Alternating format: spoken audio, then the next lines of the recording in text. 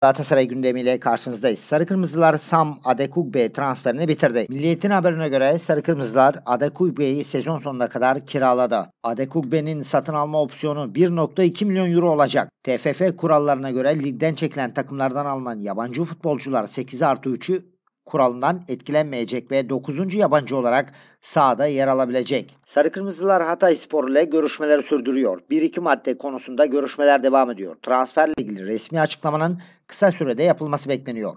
28 yaşındaki sol bekle Beşiktaş'ın ilgilendiği duyuruldu. Şenol Güneş bu transferi istemişti. Masuaku'nun satın alma opsiyonunu kullanmayacaklarını